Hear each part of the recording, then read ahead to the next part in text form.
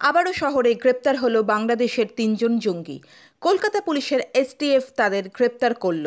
দুজনকে শিয়ালদা থেকে এবং বাকি দুজনকে হাওড়া স্টেশন থেকে গ্রেপ্তার করা হয়েছে। এদের মধ্যে তিনজন বাংলাদেশের বাসিন্দা এবং একজন বীরভূমের বাসিন্দা। বাংলাদেশের গ্রেপ্তারি এড়াতে এরা ভারতে আশ্রয় নিয়েছিল।